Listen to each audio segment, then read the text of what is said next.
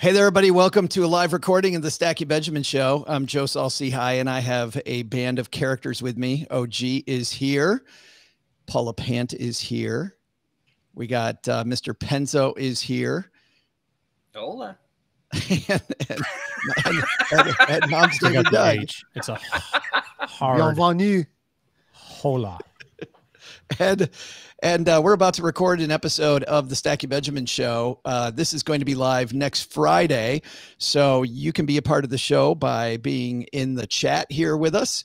If you'd like to say hello, we've already got Karen, our uh, our producer, saying hello. Just to kick things off, we're going to be talking about etiquette because OG demanded it that we discuss this topic today. He was all about it and said uh, we have to have a piece that's from what publication did you get this from? MyRecipes.com. So, had to had to do it. So by popular request, we're doing this. Hey David, how are you, man?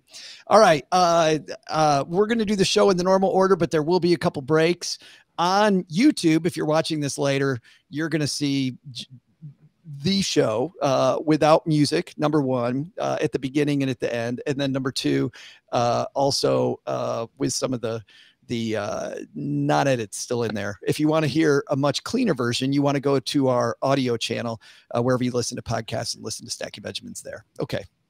You guys ready to do this? Doug let's uh the dirty, dirty version, not the clean version.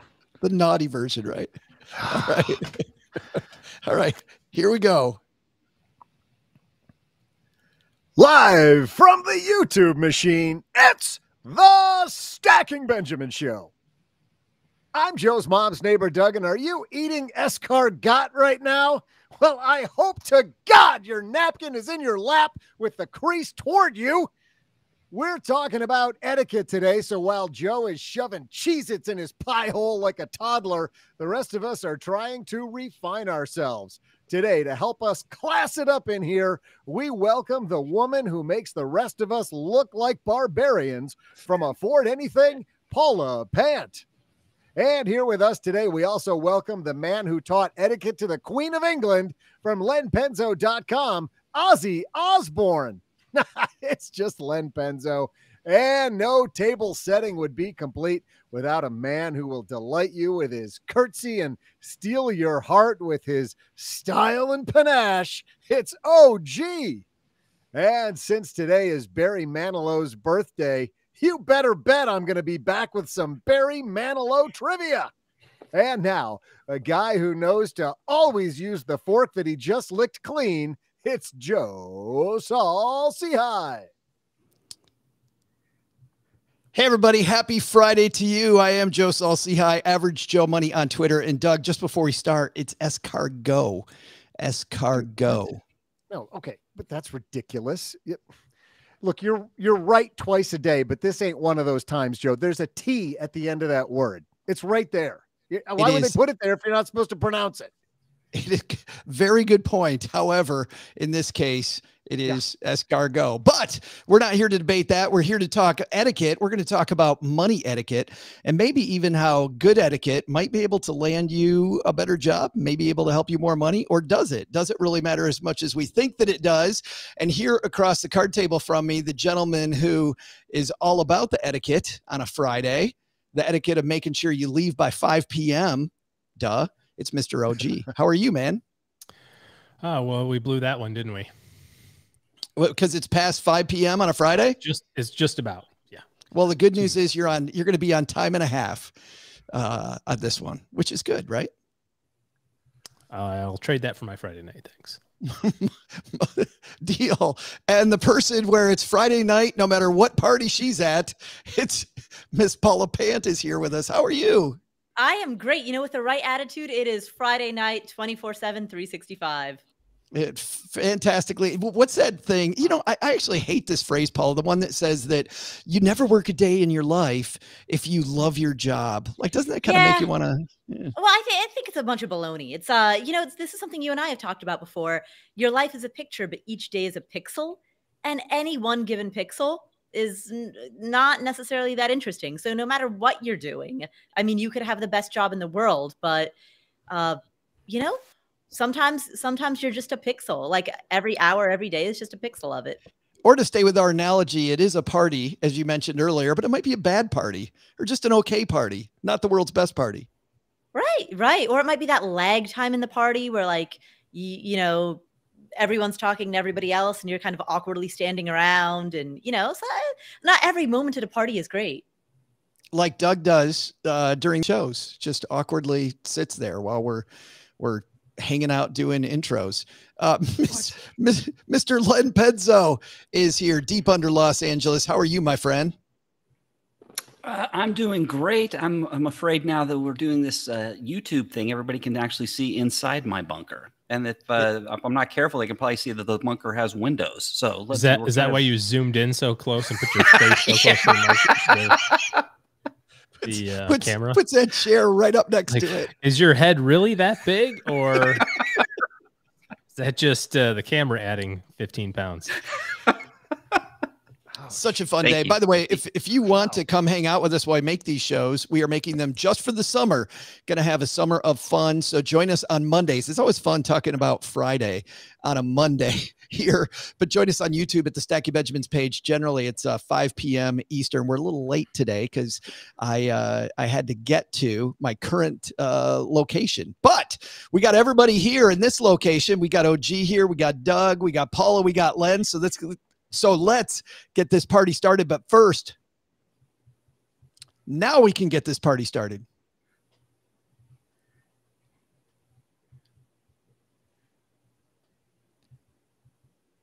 Today's piece comes to us from the very hard hitting website, myrecipes.com. It's where Paula Pant goes for all of her hard hitting finance topics. Isn't this like the secret to afford anything? Is myrecipes.com? Uh, you know, actually, I, I do have to say, I own the domain NepaleseRecipes.com. So I'm a little disappointed that you didn't choose that one. That being said, I only own the domain. I haven't actually developed it out. So it's literally just a blank domain right now. That's what I was going to ask. How many uh, drunken domain bit buying parties have you had, Paula? Quite a few. Uh, I also own GoThugs.com, which, depending on how you read it, could spell got hugs. God. it's an either or website, or it could be both. It's like when I tried to one- get the OG on Twitter and I kept on searching for it and it just came up with a guy named Theo G. That's- You know that doesn't Ric Edelman has that has that same thing with his website, right? He always advertises it's he goes rickedelman.com or ricedelman.com. Rice Delman. Yeah. Because he spells Rick like a nincompoop. Yeah, he forgot the he forgot the K. Or his parents did anyway. All uh, mother- Ricks enough. that spell your name with R-I-C, send your hate mail to OG at stackingbenjamins.com. Hey Paula, you Also, haven't all, taken all people, Paula, all you people who- Paula, you haven't taken the the persistent Nepalese itch yet, have oh, you? I have not. No, Okay, that one well, is still up for grabs. I was going to say, all people who also use the word nincompoop on a regular basis, send your mail. Oh, it's on. This is this is family friendly. I've that was the PG version. I can kick it up a notch if y'all want. nincompoop, those knuckleheads. I don't know if you guys mind or not, but we're going to get to the piece because it's called Can't 11, 11 We've tried on this tried to all delay for as long as possible. All day I've been thinking. Yes. 11 fine dining etiquette rules you've probably broken your whole life. And it was interesting when I'm flipping around and I'm looking for things to talk about and I saw this piece, I thought of course, what are these rules? What are the etiquette rules that I've never seen that maybe I have have broken? And Len, we'll start with you. I don't know. Is you were going through these? Did you know any of these existed? I did. I think I knew of eleven. I think I knew of three of them. That's actually more, I think, than I knew. Uh, uh, the Yeah. only one I was kind of aware of was the flip the oyster over when you were done with it. But uh, that's about it. I did not even know that one. The Paula, oyster did you know that one? Uh, no, I did not know that one. How about the the and just to give people an idea of what these are, because we're not going to spend a lot of time on it. But number one, never lift your menu off the table. OG, have you heard of that one? Yes, I know that. You do know that. Really? Now, where do you where do you learn that from? Where did you get that from? Uh, I don't. I don't remember honestly. There's a book called Emily Post Guide to Etiquette. Um, I, I've, it's a small read. I've uh, studied it. Well, it's a, did you I did mean, you have. seriously? Yes. Well, well, and it is funny because because uh, just to tell people what's going on here, OG said ahead of time he's he's like, what does that have to do with money? And uh, as we were discussing the fact we were going to talk about this piece, I got to tell you guys that when I was at a dinner as uh, as we were going around the country deciding where we were going to live next, Cheryl for her profession as part of the interview process, we had to go to dinners at, at each of these places with the other people she was going to work with, and I have to tell you, knowing a little bit about etiquette really really helped because of the fact that that I knew that that was the only part of the interview they were going to have with me right? They were putting us with these other people she was going to work with to see to see exactly if uh, she was a fit. So I'm wondering Paula if knowing something about etiquette actually can make you a bunch more money like it might at least saved a job for my, spouse.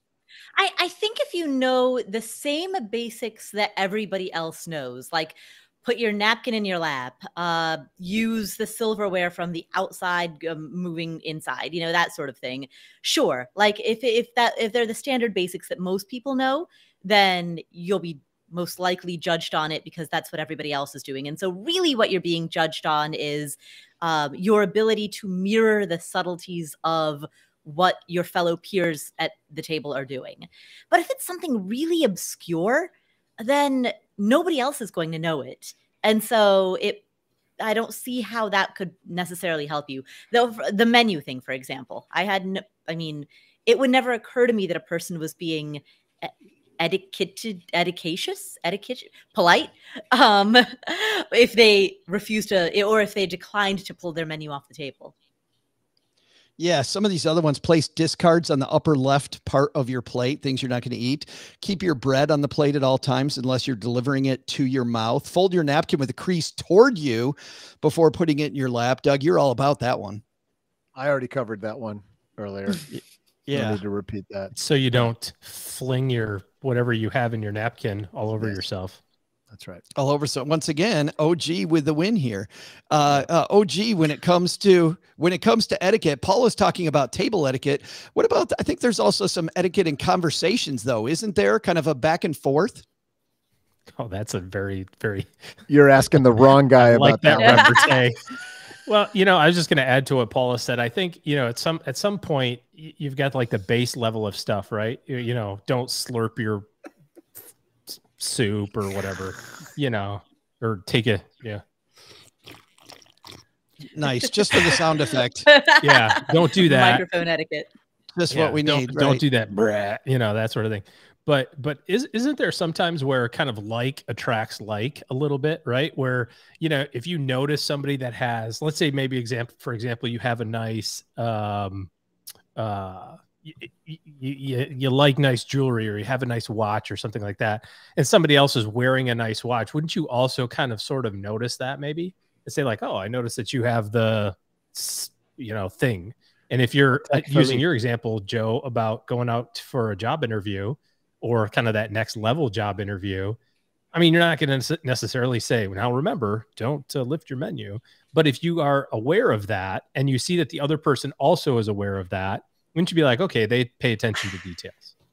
Yeah, and the only way you're going to be aware of that is if you know those things. Uh, uh, Len, for your job working for the man, I mean, how much have you had to study etiquette or pay attention to etiquette working? You know, when you you've had to talk in front of generals in a pair of jeans, right? That, that is true. Yes, that's a true story. Yes, yeah. Um, you know, in, is this in terms of conversation or any etiquette in in you know i'm just talking about any etiquette which is like don't show up to it, talk to a general in a pair of jeans i mean you knew that well, one ahead of time so it it, yes. it, it, it actually made it so that you were able to kind of laugh it off because you knew just how bad that was going to be and i think you mentioned before when you told the story it actually went well partly because you were able to deflect yeah it did go well and the first thing i did was was i addressed the problem and what uh, joe was referring to is this was actually a time I was supposed to meet you, Joe, out in Texarkana, if you remember. That's I was right. flying into uh, Shreveport uh, on a business trip, and my luggage, I made it, but my luggage didn't. And so, and I had a meeting at that at that time, you know, right after I got off the plane, and um, unfortunately, not right after, but uh, several hours after. But the luggage never made it, and I was stuck uh, having to brief uh, in what I flew in, which I never did again. I always made sure if I was briefing uh, on the day I was traveling, I'd wear my I'd wear my suit traveling. So, anyways, but yes, it deflected because I addressed the issue, um, and uh, it it lightened the load and it took a lot of pressure off right out right out of the gate. So. Uh, that, that, uh, well, that's, that's what I was gonna. That's what I was gonna ask, Len. We'll stick with you. If you're not sure what the etiquette is in a situation, how do you handle that? I think you're on, you'd be honest about it, and you might want to, you know, you might want to put it on yourself and just say, hey, you know, I'm the the heathen here that's uh, not very refined. I, you know, I'm not sure what the etiquette is here, so I'll do my best. And if I make any faux pas, you know, please excuse um, any faux pas I make. They're not intentional, and I apologize in advance. It's like Paula, you're Paul, you're you're big with the uh, the royal family. How many how many things do you see? Are those articles of like people who are like, oh my gosh, can you believe that so and who's it decided to shake the hand of this person? Or there's a big thing with Tom Cruise, and um, they did the the top one of the Top Gun premieres in London, and and uh, Kate, whatever her title is, was there Middleton, and and he like put his hand out to like help her up the stairs like a normal person would be, and she tolerated mm. it for like two steps, and then like they, she did all this fancy stuff to like basically go, no, bro, you can't touch me. Right. the rules. Right, right, right. Sure, he didn't yes. do it on purpose. Yeah, exactly, exactly. There's all that specialized etiquette related to the royals, like never turn your back on the queen, or um, you know, all of those. We did use the and word the king. use the word Circa lavatory instead of six. That's what we said. Always turn your back on the queen and king. Throw your tea in the river. Yes, sea, by the way, but I think there is.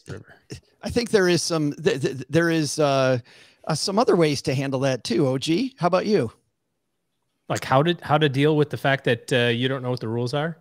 Yeah, yeah, I, I, am I'm with Len. I think you the, the quicker that you go, I, I don't know what to do here, or if there's somebody that uh, that you can kind of lean on real quick, you know, I don't know what I'm supposed to say, or I don't know what I'm supposed to do in this situation. Give me the crash course, or at least tell me the top three things not to do, so I don't totally put my uh, foot in my mouth. You know, I mean, we've all done it uh, certainly unintentionally, I'm sure. yeah, you know. You, yep, Doug. Well, you know, I there was a time when I used to, you know, take folks out to lunch, especially when I was hiring for my leadership team. I would I would always make sure I took them out to eat because it when you have people in that setting versus versus a typical interview setting, they tend to let their guard down a little bit. It's more social. It gives you something to do besides just focus on the, you know, the typical interview scenario. And you see a different side of that person. And uh, I was always looking for how they handled themselves in that situation. And I hate to say it, but if I saw elbows on the table, if I saw mouth, you know, chewing with, uh, I should say, if they were chewing with their mouth open or any of those kinds of, you know, more typical easy to spot faux pas, I had to judge him on that. But when I had people, and this is all linking back to what OG and, and Len were, were talking about as, as far as what do you do when you don't know? There were a few times I can think of when people would would say, I'm not sure what to do in this situation. And when they said that with very little confidence and they sounded scared and I don't want to make a mistake here, that never worked in their favor, in my opinion. I'm a pretty judgy guy. But when they said, I'm not really not sure what to do, clothing attire, that you just psh, do whatever. Whoa, going, no. going back at me for that. Okay, okay Doug in the Technicolor dream coat. But go That's ahead. Right. That's right. But uh, but but if they did it with confidence, if they said, "Look, I'm not really sure what to do in this situation, and I I don't mean any offense by this, but I think X, Y, and Z," or they still spoke with confidence and still conducted themselves with confidence, I never counted it against them because they still had that presence. They still had some confidence and they were willing to allow that there may be some uh, sort of rules of the road that they weren't aware of. But it was those times when they were really like, I don't really know. Don't judge me. Like, well, you know what? I'm judging you now. No, Jug, that's really good because I, I have the same standard as like when I would interview, and if somebody, I would always prefer somebody if they didn't know an answer, they said they didn't know because there's nothing worse in business when you're relying on somebody's uh, uh, expertise or or you want their opinion. It's much better if they are secure enough in themselves to say they don't know than to to pretend they know and give an answer and that comes back to haunt you later. It's always been I've always told uh, the people working under me if you don't know the answer, you can say I don't know and I'll get back to you, but don't pretend you know when you don't know because that that does so much more harm which is which is actually interesting, uh, uh, Len, because in, in, matters of just table manners and etiquette, when I was at the Citadel, we had this uh, short course called "The Art of Being a Gentleman." When the Citadel was an all men's school, and we sat down with a local Miss Manners person and went through all this stuff. But at the but at the table and in polite company, if you did not know what to do, the example this woman gave us was, and it served me well for a long time, is if you don't know what to do, follow what Andy Warhol did. And we're all like, "What the hell did Andy Warhol do?" Andy Warhol would be in these high end New York restaurants, and he would would eat salad with his fingers, right? Everybody else is worried about what fork to use. He would just reach in and he's eating it with his fingers. And and her point was if you don't know what to do, just do it with a hell of a lot of confidence. Like if you're going to do it, do it. Just do it and maybe some people will notice maybe they won't but you know if it's not going to kill you i can see how in your job you know don't fake it just say hey i'm not sure if this is the right thing or yeah. not but i think at the but i think at the table if you don't know which fork to use yeah. man grab it and go just use the, the, the borat rule the yeah, but I mean, when I'm choosing what I want to wear, I'm doing that with all kinds of confidence. I'm wearing the orange. I'm just going for it, just like you know Josh said. But in Len's job, now you can't fake that. Did it, did OG say it too? People get hurt. We all said it. So that goes. Yeah. Coming up next, uh, uh, and by the way, is it good etiquette to, to to rip on somebody's clothing while they're live with you in a podcast? I don't I, don't know what the etiquette rule is is is there, but uh, I guess Playful Doug would argue banter. probably probably I not. I believe is the uh, goal here. Coming up next, uh, second half of this conversation, we're going to talk about rules of etiquette with your money. What rules of etiquette exist? Uh, our producer, Brooke, the creator of our 201 newsletter, has a bunch of ideas. I know our contributors have ideas too. What are some of the money etiquette rules that you have? Some that are good, some maybe we want to throw out. We've got that coming up next. But before that, we got this little trivia competition going on all year long. And this is where, if you're new to the Stacking Benjamin show, we pit each of these fine three contributors against each other in a fight to the whatever. I don't, I don't know. A fight to, a fight to the end of the year. Yes, to, to see who can get the most get the most answers right. Uh, it is a fight for the worst trophy ever. Oh, gee, I don't know if you have that that trophy close by, so people can see. I don't, but I'm keeping all of the. Uh, I'm keeping all of the um, uh, uh, Hershey Kisses that were in it in it because someone will be in for a surprise eventually. Some year, somebody's going to bite into a Hershey Kiss and realize that was from like 2019. That's not a good Hershey Kiss. So. And the big science experiment goes it matter. Like we're going to find out whether it does matter if that stuff ages or not. But we've got uh, we've got a score which uh, Paula Pant unfortunately less and less favors you. I know you weren't here last week. Dana sat in for you, but uh, Paula uh, OG got a little bit more caught up. All right, it happens. It happens. There's still uh, plenty of many many months to go before the year's over. The score is Paula five and a half. OG has seven and a half. They tied at one earlier in the year. And then uh, Len leading the charge with nine. So OG can pull up into maybe a little closer tie, or Paula can make it a three horse race again. Let's see. And Doug, you've got today's question. Darn right I do, Joe. Hey there, stackers. I'm Joe's mom's neighbor, Doug. As I mentioned at the top of the show, it's Barry Manilow's birthday, and you know, I love Barry Manilow. I can't stop talking about the guy. What? I mean, can a man sing Mandy in the bath after a long, hard day?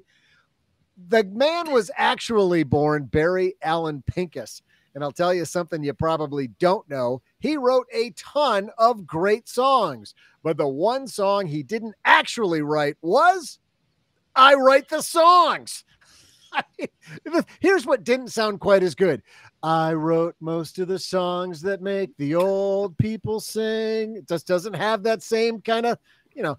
But one of his biggest hits was Copacabana. Copacabana is not only a really fun word to say. See, you're saying it right now, and you're realizing it's fun. It's also a famous beach in Rio de Janeiro. That's where Manilow got the idea for the title. But the song is really about the famous Copacabana nightclub in New York City. Manilow frequented it in the 60s, but my question is what year did the nightclub open? I'll be back with the answer after I merengue and do the cha cha cha. All right. Uh, the Copacabana, the hottest spot north of Havana, Len Penzo. When did the Copacabana open? I'm sure every time you go to New York City, didn't you go to the Copa? I think the Copa's uh, long closed now, isn't it? Anybody know? You got me. I would assume. Copa, so. Copa, if you're is. still open and you want to sponsor the show so people know you're open, send an email to joe at stackingbenjamins.com. But Len, what year did the Coca- Copacabana open? I have again. uh, This is I I don't know. Uh, the the one in Rio, right? Is that The what you one said in there, the one in, the No, one in I New just- York City. New York City. I just were you listening at all? New No. York City. Uh, New York City, Copacabana. My goodness. Hmm. I don't think they had that kind of stuff in the 1800s. You know, that sounds like something. That sounds like something that would open up. I shouldn't give this away because I know because then I'm gonna. I know that this is such a good reasoning why you guys are gonna. You guys are gonna both Chelsea Brennan and me on either side if I give you the my reasoning. Well, you probably do it now, anyways. What, no matter what my reasoning is. So Keep it doesn't yapping. matter. Yeah, I think this. You know, these these clubs came up. I think in the Roaring Twenties. I, I think it just makes total sense that something like this would happen, come up in the Roaring Twenties. So I'm going to pick right dead center, 1925. 1925. By the way, uh, okay now, IK now uh, tells us on YouTube that it's open. I just went in TripAdvisor and it is open. Seriously, Uh, so- dude. It's okay, now I know. Now I know. As in, okay, now I know how to read. okay, now apparently I don't know how to read. Wow. Is it good etiquette, Len, to just say you don't know their name? Is that the best, is that the best etiquette? You're having trouble squinting at your laptop. Oh. All right. Uh, what year did you say? 1925? Yeah. Yeah. All right. Oh, gee. What do you think about that one? Yeah, I was going down the same path. Roaring Twenties. Uh, grandma's birthday year, 1923. 23 undercuts them a little low. So, Paula, All right. I'm Chelsea Brennaning for 1926. I knew it. I knew it. And that's the way Len gets the love blanket right Yeah. between OG and Paula. Yeah. nice job. So uh, we were we would love to tell you who won this thing, but we don't play that way. We will be uh, right back. All right, Len, you kicked it off with 1925. Seemed like a good idea at the time. Yeah, th- th- this was a this is one of those things where you're in first place, you're screwed. So you know, hey, I might have hit it. Hey, and OG gave me a little bit of an out there for 24, right? We, we'd split it, right? It did. was 24. yeah, you split 24. Thanks, OG. n- Now knowing that Paula didn't do that and took 26, you regretting that, thinking maybe you should have taken 24. Nope. I was just taking, uh, I had in my head, as soon as he asked the question, I thought roaring 20s. And I said, I got to pick a date in the 20s. And the only date that I know that's uh, worth a darn was my grandma's uh, birth year in 1923. So, yep. was And I know you and your regardless y- you and your grandma got along very well. back in the day. And uh, Paula, you feel any remorse by just chopping off Miss your friend, Miss your so-called friend, Mr. Penzo at the knees? No, I feel great. I mean, in the question they said uh they said that uh that that dude went to the club in the 1960s, so we know that it was open by then. So 1926 is before That 1960. dude, Yeah, show the man some respect. I, I forget his Very what's his name? Pincus, aka Barry Manilow. Barry Manilow. Okay, Barry Oh my Manilow went there in the 1960s. Paula, you know a lot of Barry Manilow songs. Barry, Barry, The Barely Manilow. Copacabana. Nice. Bar- Barry Nice. Manilow didn't write Mandy either, by the way, Doug. Did you know that? no, he didn't. But it was about a dog, not about a chick, a uh, woman, as everybody thinks. Oops. Well, what I think is it's probably well, now time. You just uh, that song for me. Uh, now that uh, Doug, before Doug waxes poetic too much about Barry Manilow, why don't we get a, why don't we get an answer to this thing so we can move on? Doug, who's writing this one? Hey there, stackers. I'm Joe's mom's neighbor, Doug. You know, the Copacabana is an iconic New York nightclub used as a setting in movies like Goodfellas, Raging Bull, and The Irishman. Originally, much like this podcast, it was the shadow business of a mob boss. It went on to host incredible debuts such as the comedy team of Martin and Lewis, as well as the Supremes. So, when did the Copacabana nightclub open? On November 10th, 1940, which means Paula has Chelsea Brennan her way right into the winner's circle. Paula makes sure keeps it close. Yeah. Keeps it close back in the race and the race tightens as we head into the long hot dog days of You summer. know, to be fair- Congratulations, to Paula. be fair, yeah, Thank. Paula, you. know, she's had a couple chan- other chances to Chelsea Brennan me, and she didn't, and it cost her. So, so good Mm. for you, Paula. Thank you. Thank you. Len, are you telling Paula to be more ruthless? Is that what you're saying? Paula, be more ruthless. No? Uh, no, I'm just, I kind of feel bad for Paula. She was so far behind, so I'm, I'm glad she's coming up there. You Hey, it took makes one it for the team. makes a competition more interesting. It makes it this is better radio. Plus, if I was gonna get any question right, one about a New York City nightclub, that's that's fitting. You know, But you didn't know if it was open or not, though. I have no idea. Appar- No How you're idea. gonna go? Okay, now I know. Have you had an egg cream yet? Have you had an egg open. cream? No, I still haven't. I've never had an egg cream. no. Allegedly, that is an alcoholic beverage. I have never had one though. Have you had one, Len? I think it is. No. I don't think Well- Have you had 12? yeah. That's right.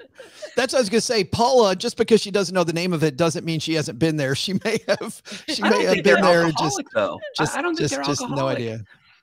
Uh, they're don't think they're at alcoholic all. They're not even close. What, Yeah, an egg no. cream? I've never drank an egg cream, so I don't I don't actually know. Hey, if you guys don't mind, let's roll into the second half of this. chocolate syrup, whole milk, Paula. I mean, I know you could pour clear alcohol into damn near anything liquid and be cool with it, yeah, yeah, Everclear and egg cream. but traditionally, an egg cream is not boozy. Wait, then why did somebody bring up egg cream when I talked about the Copacabana? I think New Len York. did. I did. It's in New York. Maybe Justin from Germany knows. All right, uh, on to the second half of this discussion. Joe has lost control of the show. We are so fun being live, but also just uh, it's like herding goldfish, people. we, we got a great second half. We're going to talk about money and etiquette, and uh, this half of the show sponsored by Magnify Money. Doug, what happens when you go to magnifymoney.com using our link, stackingbenjamins.com slash magnify money? Oh my God, Joe. I don't know. Um, do I finally find an eggshell finish for my bedroom that I've been looking for for years? you may that would be a nice side hustle for them if if people want that plus all the best things that are not at brick and mortar banks like savings accounts checking accounts 92% of all the online banking options available ranked head to head at magnifymoney.com go to stackingbenjamins.com slash magnify money good time to do that by the way interest rates changing very quickly time to maybe reassess what you're doing with your online banking uh, here in the second half, I want to I want to throw away uh, table etiquette, and I want to talk instead about etiquette with your money. And there are any etiquette rules that you can think of? Uh, Len, let's start with you again. Any etiquette rules with your money that uh, that you can think of, which um, either is a great rule to remember for people out there listening, or a rule that maybe should be thrown away? Um, well, etiquette. Yeah. uh, For example, um, let's say you've got um, let's say you've got a party uh, that you're at work that that you're going to throw for somebody, and you got to get a gift. Uh, it would be kind. It would be wise to consider everybody's budget before you know you say hey let's all chip in and let's all chip in say $20 or $100 or whatever you know or $50 you know you got to pick a number that's equivalent to everybody's income not just like your boss's boss or or you know you've got to you've got to be considerate of everybody's income before you set that number that they've they've got to chip in for I'm glad that you said that because I remember an early job I had in college, and our boss, uh, the general manager of this place I worked, Len, super super wealthy dude, and and set the bar at like fifty bucks, and I, he wasn't. I mean, he wasn't paying me much over minimum wage, and I had to go find a, a gift for somebody I didn't care about that cost fifty bucks. and I remember going to him and he's like, What, you can't afford 50 bucks, can't you? I'm like, You don't pay me anything. Like, you crazy. right. Hey, well, then that's a good opportunity to ask for a raise right there, right? There, there you go. There, there's pay me more. There, there's your let's opening. make it a hundred There's bucks. your opening. Yeah. Absolutely. Uh, uh, uh, Paula, etiquette around gifts. Um, I would say, I mean, not well, not so much around gifts, but around like s- w- the the example was if it's a, a party or a potluck or somebody's birthday, like Yeah. if someone invites you over, um, you know, to a house party or something like that, like offer to ask what you can bring, offer to bring a bottle of wine, offer to bring a bag of chips or some pretzel, a bag of, you know, pretzel, something, something that you can contribute um, to the overall gathering. I think like that. I remember remember when uh, when Jeff was here a couple weeks ago. Jeff was talking about he's always the uh, paper plates and utensils guy, like Yeah. because he doesn't cook, but he's like we always Yeah. need something. So show up Hey at the door everybody, with I brought something. the napkins. yeah. Absolutely. Is there something though, OG, when you throw a party at your house, you got a cookout at your house or whatever, somebody brings something, you're like, you brought that? Is there something that's unacceptable to bring? Or are you just happy that people chipped in? No, I think that uh, if you're going anywhere to anybody's house, you get you you have to walk in with something, especially if it's some sort of party. You know, even if it wasn't asked for, or I mean, frankly, even if they say no, you don't have to bring anything. Always bring a bottle of wine or something. You know, um, we tend to. I try to make it a point that if you brought something, we're going to use it that day. You know, it's like, oh, you brought a bottle of wine, you must think this is good. Let's crack it open. You brought cookies. All right, we're going to set them out, uh, even if even if we already had dessert planned. You know, like there's a reason why you brought that stuff. Maybe you're just trying to get it out of your closet, you know, but, but which is fine. But little you know, re-gift going on. th- that's Yeah. fine. So let's let's get let's get it going. You know, um, I was thinking, uh, Len, when you were talking about the gifts, you know, and being cognizant of everybody else. It reminded me of that movie Four Christmases. I don't know if anybody else has seen that with. Um, uh, anyway, I can't remember who's Vince in it, but it's really, yeah, Vince Vaughn. That's right, and um, some other people. But uh, but he shows up. He shows up at his like dad's Christmas, and that's obviously the family that's not as well to do, and he gets all his nephew's Xboxes, and they're like, "Whoa, oh, this is awesome!" And the dad's the dad, who's his brother, is like, "How'd you fit that in a ten dollar budget?" He's like, 10 dollars. I didn't, I didn't know there was ten. Oops, my bad." So, That's it so he like totally stood up, you know, like upstaged his his his uh, nephew's parents basically at Christmas by going Xboxes all around for everyone, you know. So Might pay might pay to read the email ahead of Yeah. time be- Yeah. before you show up. Uh, that's another annoying thing. We we had this go on in our family about like the gift thing. Like we'd all have this like twenty. It's the same deal, like twenty five dollar gift cards, and I'm like, I'm not doing that. I'm not going to give you a twenty five dollar gift card so you can turn around and give me a twenty five dollar gift card so that I can turn around and give mom a twenty five dollar gift card so she can give me a twenty five dollar gift card. Let's just get together and just have fun. Like I- if, if you if you need a twenty five dollar gift card for something, I'll just get that for you. But I don't need one back. Let's not play the shuffle the gift card game. Uh, Yeah. rather rather irritating. why don't we each buy ourselves the gift card we want the most, and Yes. we'll open it, and we'll all pretend like we're surprised by Yeah. the gift we or give lottery ourselves. tickets. We used to do that where we'd all show up with like you know whatever twenty bucks worth of lottery tickets in any denomination you wanted to get. It all went in the pot, and then you draw them out as you know. You just go around and Oh. you draw it out. Yeah. and, Cool. you know, sometimes Yeah, like that, that sounds one. fun. sometimes you'd get you know you'd be like, all right, I'm taking a five dollar one, so pass me for the next five rounds, you know, or whatever. So Let's talk about the check at dinner. Uh, uh, Brooke, who writes our 201, has some feelings about uh, restaurants. You're out with a group of people, Len, and uh, and it comes time for the check. Etiquette around the check. And you're on mute. His You are still moving. open. There we go. And I'm on. I'm sorry. My apologies. Uh, don't you hate it when when uh, you go to the restaurant? There's you're with ten or twelve or fifteen people, a big group, and you have say the salad, and then uh, all people all around you had the filet mignon and the and the uh, the oysters, Rockefeller, and they've they've loaded up on the alcohol, and you're drinking a, a Coke, and uh, then at the Sounds end, like you the guy with the, the guy get the one guy gets the gets the check. He says, "Let's split it down the middle. Let's split it down the middle." You know, you Yeah. got to be cognizant of those. It- that really puts the people who have the salad and the coke in a really bad position. You know, makes them look bad if they speak up. You know, so that Don't me, be that's such a party pooper. Get some red meat Exactly. and wine and Well, oysters in your body every so often for crying out Yeah. loud. yeah, OG exactly. Corner and sells eat that- your rabbit. OG solves that very quickly. Stop doing that. Jump on Stop board. doing that. Don't be the wet blanket at dinner. Uh, yeah, we're gonna do. I'll do the tomahawk ribeyes. What are you gonna have, Len? Uh, I'll have the Caesar, uh, no croutons or dressing, please. So basically, just lettuce and uh, ice water. Hold the ice. Remind me You know, not to go like- to a, a, a group function with you, OG. No, you want to come to group functions with me. That's the point. It's Why? Not So if I I'm can the one with the subsidize your dinner? yes, I would totally subsidize. Yeah, that- dinner. That that happened, Len. That happened to me uh, last summer, and I learned quickly. But last summer, I went out to dinner with like ten multimillionaires, and I don't mean like multi multi millionaires.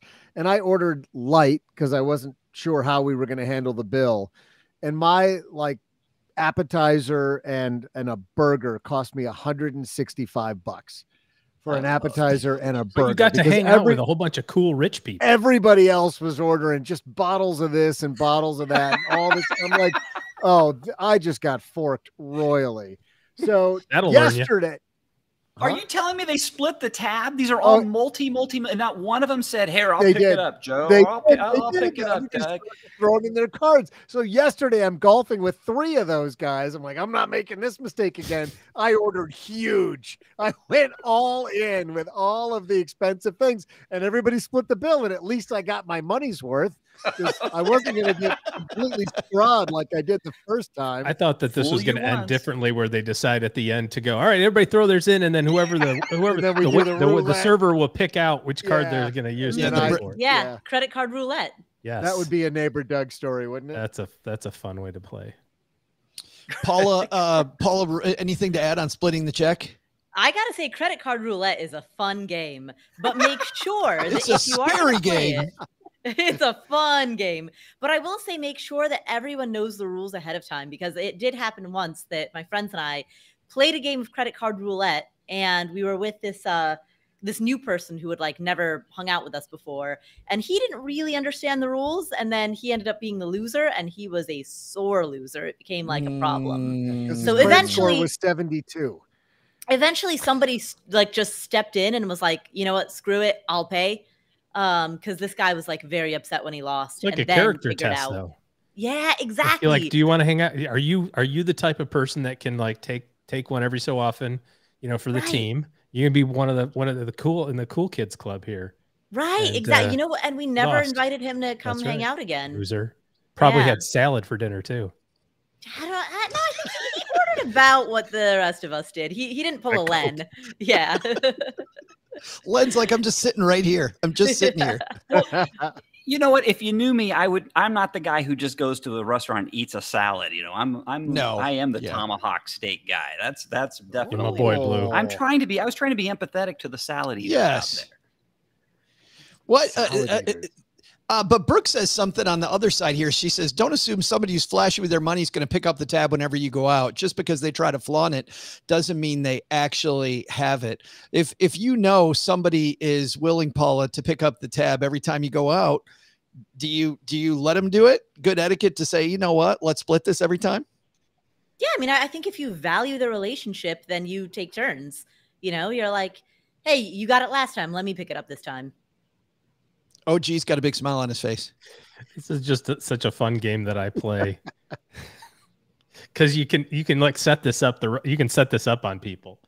Like now I got it. Now I got it. Now I got it. And then you do the whole like you guys want to split this or what? Just watch this sheer terror. it's a long it's a long con, but damn, it's fun. So You wait know, a minute. You you pick it up Steak four you pick it up three times, four times in a row for Steak Brother. Then Yeah. he's sure you're paying and you Yeah. rip the rug out Yeah. from under him. Yeah, yeah, hundred percent, hundred percent. Yeah. When he's all So in that's- pigging out on So your that's dime. going to cost you like what, two, three grand? Is it worth it? Is the payout The- worth it to watch their face go white? hundred percent. Yep, hundred percent. Judging a book by their cover, I mean, I can't tell you, Paula, how many times I've been in meetings where either somebody thinks that that uh, um, uh, there's a person at the end of the table who's the very important person in the room, and all they want to do is talk to that person, or they think that you're the the the important person, and really the person sitting next to you might be like this ladder climbing thing. Judging the book by its cover can get you into big trouble. Right. Right. Exactly. Exactly. Well, and not just that, I think it uh it's it's like the character that it reveals underneath. Um, you know, a, a character that's a little bit more transactional than relational. What do you do Like- if somebody is if if you've got a friend who is very very um frugal and, and I know, and Brooke writes this. She's like, uh, uh, "Don't judge somebody because they're super frugal." I mean, I have, Mhm. I know people where they, where you know, you'll you'll go out with them sometimes, and you'll see people call them cheap, and you can tell Yep. they get really uncomfortable because, you know, maybe it's not that they're cheap; they just don't value the big expense. I so I think I have I have a friend who's like this, and I think the biggest uh, distinction is like so this particular friend he owns it, like he is cheap AF, and he is proud of it, and he owns it, and he like advertises it, and he lets you know, and so like so he harbors no illusions, nor does he allow anyone else to harbor illusions. He like completely uh takes pride in the fact that he is that guy. Um and so so it's great hanging out with him because like you know exactly what you're getting you know he's the person who's going to um like you know uh, walk into a bar with a flask you know and order a diet coke and then like be pouring pouring from his flask under the table like That's you know one- he's that guy That's got to be one charming MF right there. There's no way you want to hang out with that guy unless he has just got the best personality on the planet. well it's like so i what i respect about him is that he is so unabashedly who he is you know versus people who are frugal but then they pretend or cheap but they they pretend not to be and then they kind of like i don't know you know short well you're all splitting the bill and they short it by like five dollars you know Are you saying the etiquette, Paula, here in this case is really on the person who is frugal to know yourself and and and lean into it? yeah Not exactly. not on their friends. Like, don't get mad at your friends that they call you cheap because you're you're you're frugal in a situation. Yeah, I'd say if you can't live it down, play it up. Like if that's how you're if if that's the way that you uh want to interact with money in the in a social context, then be sure to like let everyone know and um you know and and yes, lean into it. Lean in strong.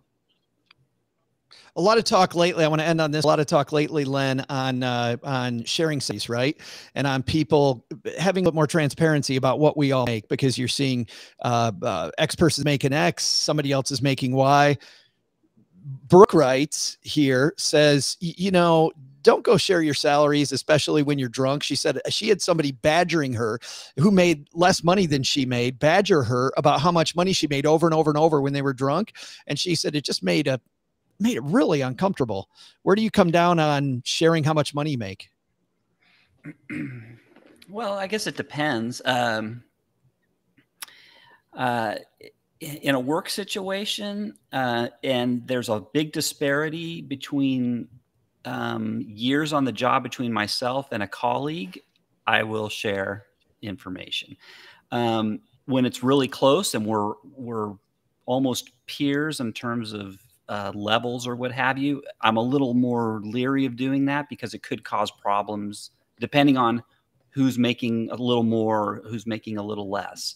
But um, but do you think that that like might a- actually but do you think that but, but, but i mean it seems like there's almost no stakes in sharing it with somebody who's at a different level than you are and there's very high stakes if you share it with somebody who's close to you but it could end up making you a lot more money if you find out they're being paid more than you Uh, well, yeah, it could. You, it, it could. It could also get you, and you know, it could just get you. Uh, I don't know. It, it, can be bad too if if you have if you have the reasons for making more than somebody else who's a close peer to you, um, and you find out, then by all means go to the boss and give proof why you're worth you know you're being underpaid. So you know it depends how much hey it's pandora's box right? So you gotta yeah. be if you're going to open pandora's box you got to be willing to, to, handle whatever comes out of that box. Could be good could be bad. So so you just got to be careful with that. Um, for things where like my kids and what have you i've never been i've never hidden you know my salary or what i earn. After i show them i've showed them I keep track of, you know, every pay raise I've ever got. I have a complete record from the first day I was hired all the way through, all the way through today. You know, and they can see, you know, how how salaries progressed over time in the years that were lean. Guy got nothing, and um, you know, just to kind of give them an idea of, you know, you know, when you have to make a decision to jump because uh, during those lean years i had to jump companies you know to, to make up for for the lean years so i mean just to it's it's good information. It's it's value. It can be it's very valuable. But if you're going to share with people at work, you got to be careful. You got to be really careful. Yeah, I, there's there can be a lot of whiplash in that situation. Oh, gee, you're shaking your head or you're nodding your head rather. Like a bobble. Little both. Like a bobblehead. I had uh, Joe when we were working at American Express. I had a mentor who um, was you know a couple levels above me, and I think this is what Len was getting to you know, and and and earlier in our careers, it was much a, much more of a sales organization, and I think you have some. It's a different dynamic if it's that right. If it's a sales organization, you have some flexibility there to kind of, from a motivation standpoint, like, look, this is what you can do. But I have this very distinct memory of a guy that uh, I worked for where uh, his his wife would go out of town every so often, and then he'd he'd get to have the boys over. You know, we'd have bottles of wine and smoke cigars and go to the steakhouse and you know do all that stuff. And one time we were at this uh, restaurant, and to your point, Len was you know probably a bottle and a half of wine into it and had the you know the Neptune platter of you know seafood tower of stuff, you know all that stuff. And he reaches into his pocket and he's kind of you know a little tipsy and he kind of has this little teeny tiny piece of paper. And he starts unfolding it and and he shows it to the entire table. He goes, "Look at this." And it was a check for like twenty seven thousand dollars. And he goes, I get one of these every month. And he like crumpled it back up and like stuffed it back in his pocket. And he's got his calculator. I didn't need to calculate it. I could do the math in my head. But I, but but but the guy the guy was several levels, you know, above where we were, and he was talking to to your point, talking to people who were like way way way below him, and using it much more as a motivation factor. Right. You know, like Correct. like and I think that when you're, you know, when you're in the salary world and you're saying like, you know, if you told somebody that makes fifty thousand dollars that you made sixty thousand and they're at the same level, they might get pretty ticked off about that because that's that's at ten thousand dollars is like a known quantity. But if you tell somebody who makes fifty thousand dollars, if you're like, you know, the senior management, you go, I made five hundred thousand, that's like an incomprehensible sub. There's, I mean, you could say 500,000, 500 million. It's just, it doesn't even matter. It's such a big number that there's not, like you said, Joe, not as much risk to to say that. But I think that you've got to, if you're going to do something like that, you better have a whole story that goes with it, you know, because you can't just, you know, you can't just say like, well, I made three hundred eighty thousand dollars last year.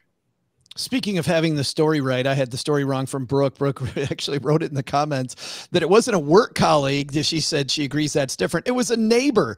And I believe now, Brooke, that you, I mean, how annoying you're at a neighborhood cookout and your neighbor is hammering you for the amount of money you make.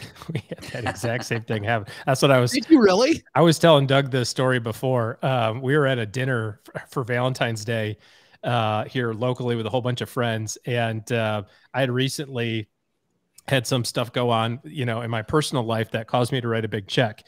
And uh, and the then the wife of the person that I was talking to was kind of like, "Well, so how much of the? How much was that check that you wrote?" And I'm like, "Oh, it was, you know, it was a lot of money." And it's, you know, she's like, "Well, how much was it?" And I'm like, "Yeah, it was a lot. It was a big number. You know, beep boop bop. you know, leave me alone. You don't want to know." And then finally, she goes, "No, no, seriously, how much was it?" And I go, and I whip the number out, and she goes, "Oh." And her husband looks at her and she he goes, can you be done now?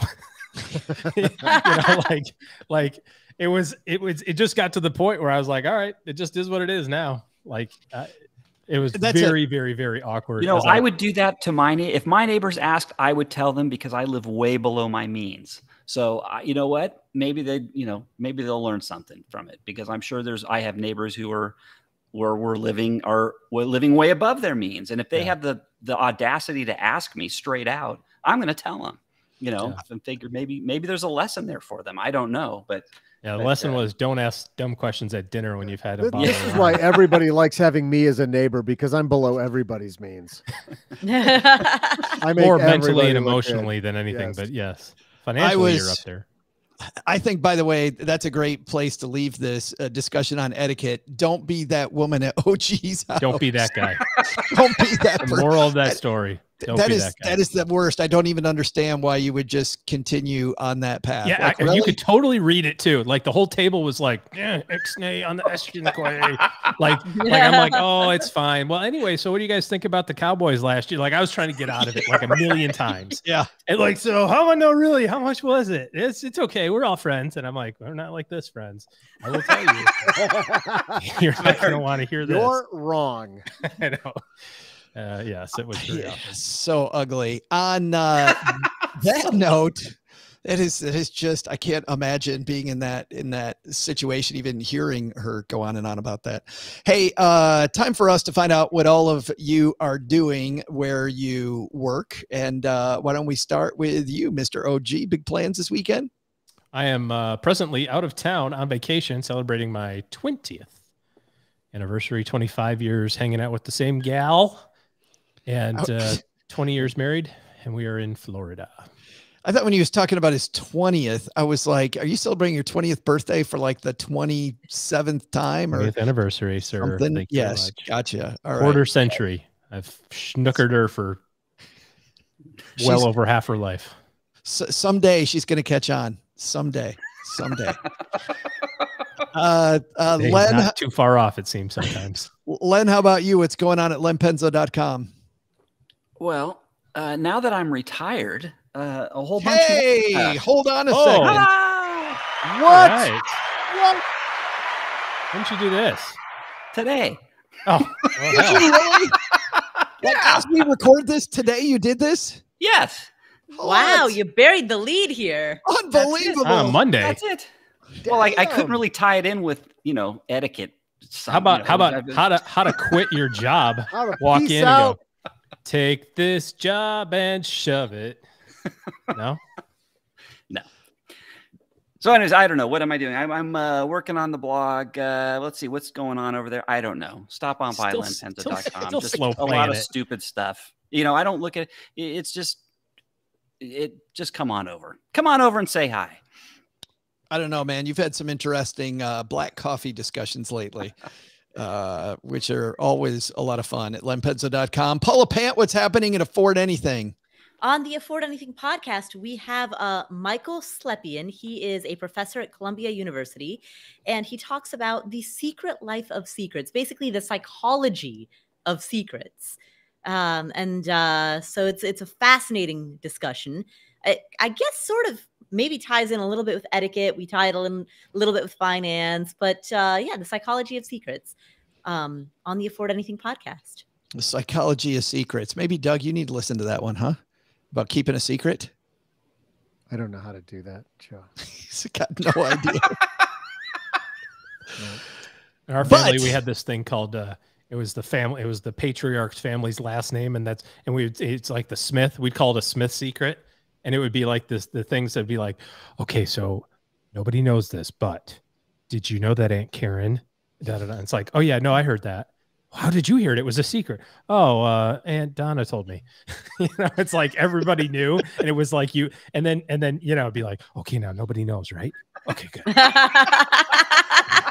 we we called it like this the Smith family secret or whatever. It was just always like, okay, so here's another one. Did you know about cousin Nate? and nobody knows that everybody knows. Everybody knew that everybody knew, but Everybody everybody, did, pretended yes. to not know, so that Perfect. The illusion is the maintained. illusion of secrecy. That's coming up at the Afford Anything podcast, where finer podcasts are listened to. Doug, you got it from here, man. What should we have learned today? Well, Joe, first, there are as many unwritten rules to dictate the use of money as there are written ones. Keep learning and refining your habits, you Philistines. Figure it out. Second, if you're looking for the ultimate egg cream recipe, just ask Paula. I mean, that woman can work magic with a Capri Sun and some cough syrup. but the big lesson? I knew we shouldn't have started the show with a mob boss as a backer. I mean, geez, Joe's mom makes Tony Soprano look like Julia Child. I make one late payment. She's got my fingers in a vice and a car battery hooked up to my nipples. Thanks to Paula Pant for joining us today. You'll find her podcast, Afford Anything, wherever you're listening to us today. Thanks to Len Penzo for joining us. You can find Len Penzo at lenpenzo.com forward slash blue jeans. Thanks also to OG. Looking for great financial planning help? Call neighbor Doug. Looking for mostly okay financial help? Head to stackingbenjamins.com forward slash OG for his calendar. This show is the property of Stacking Benjamins Podcast. Scratch that. This show's the property of SB Podcast LLC, copyright 2022, and is written in part by Paula Palach, who helps writers power their words, their work, and their earning potential with her Powerhouse Writers Coaching Program. Find out more at powerhousewriters.com. Thanks also to our team who made today possible. Karen Repine is our producer. Tina Eichenberg and Gertrude Smith are our social media mavens. And Brooke Miller handles the show notes and our amazing newsletter, The 201. Not only should you not take advice from anybody you're listening to right now, don't take advice from people you don't know. This show is for entertainment purposes only. Before making any financial decisions, speak with a real financial advisor like me. That's it for today. We'll see you back here on Monday on Stacking Benjamins.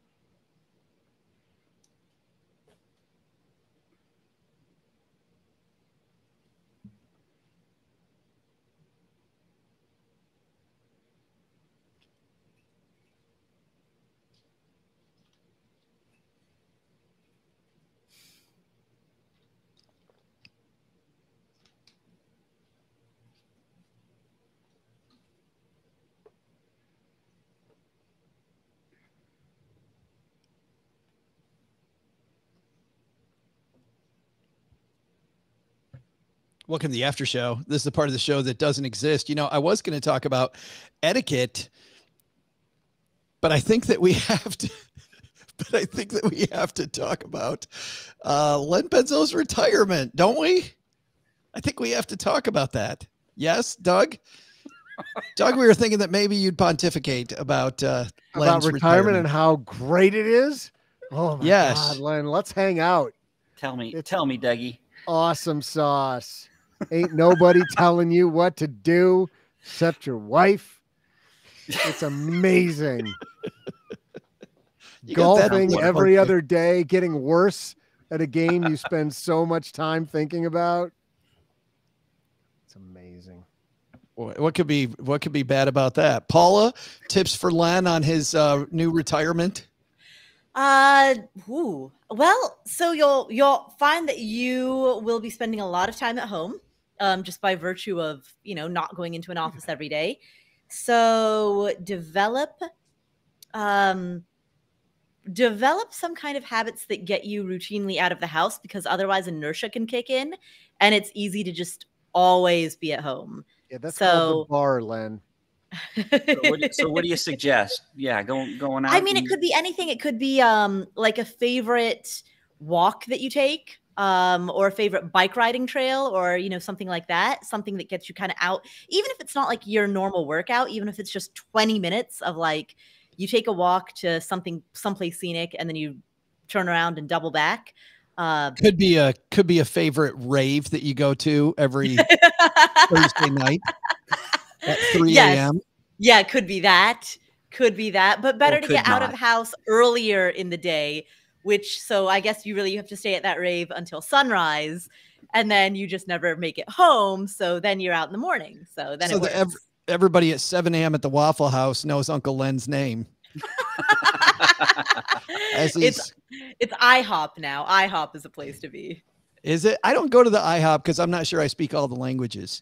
So at the Mm. International House of Pancakes. Len, You know, are I you used to go pick up. I used to go pick up donuts, uh, uh, you know, every Saturday morning, and um, and the same four group of guys would be at that donut shop. Old old guys, and I'm sure they're obviously retired, but they they obviously they met there every Saturday morning, real early. You just they're sitting there talking, having their coffee, eating their donuts.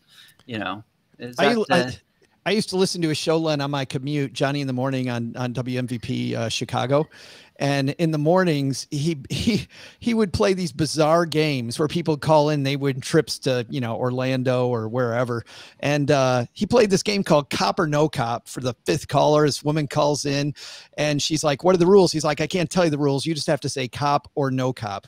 And she's like, "Okay, cop." And then they you hear the the phone dial and somebody answers says southside dunkin donuts may i help you and he's like yeah this is johnny in the morning from wmvp is one of chicagoland's finest there And they're like excuse me is there a police officer at the donut shop yes there is you win You know what's funny is this donut shop I go to. It's two doors down is a little mini uh, annex, a police annex for the main city. It was two doors down from that don- donut shop. You can't make I bet they up. have Why do you a- think they put it there, Len? that's a city planner earning their paycheck right there That's amazing. yeah oh gee you got uh, some advice for uh, uncle len as he retires I do.